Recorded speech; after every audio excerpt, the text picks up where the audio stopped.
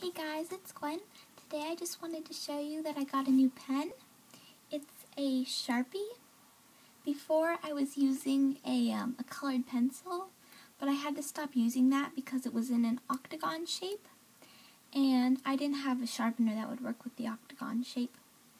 So you guys will probably be able to see my, um, my drawings better because, um, because this one's a lot thicker. Here's some of the other stuff I use. Here's the Sharpie, here's a Uniball pen, and uh, the normal Bic pens.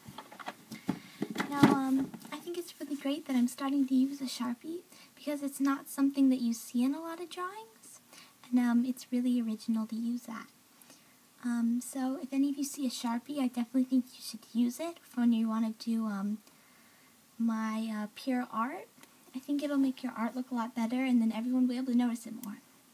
If you're going to use pens, make sure you don't use two different types of pens in your drawing, like a fine point and then one of these um, big ones, because it'll really just confuse the reader and they won't know um, they won't know if it's supposed to be like that or if you just started going lighter, but you really have to make it completely clear all the way through so they don't get confused.